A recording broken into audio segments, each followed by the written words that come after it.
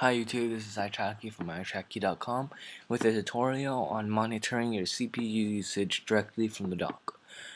Uh, basically, this is a really simple tutorial, This is going to be really quick. All you want to do is find the activity monitor.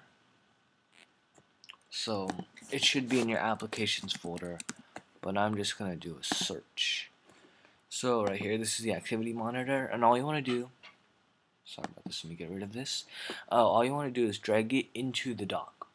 So once you've dragged it into the dock, it should look something like this. Right click or control click and click open at login. Select that. And you want to open the file and this it'll show you all your applications that are running and stuff. Now this is the final result. As you can see, you can now see your CPU usage, the light blue bar versus the dark blue bar. So right now I'm using, let's say, about 25% around there. So that shows you how much CPU usage, how much memory that you're using. So to do this, all I'm going to do is click go to monitors and click show CPU usage. And then once you select that option, it'll always look like this.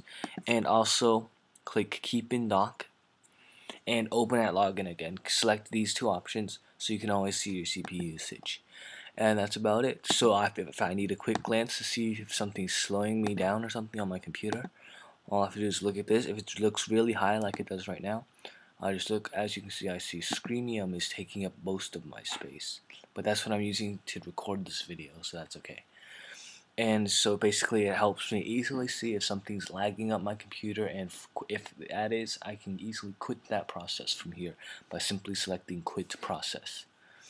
So that's about it gives you a quick shortcut to see how much CPU usage that you're using.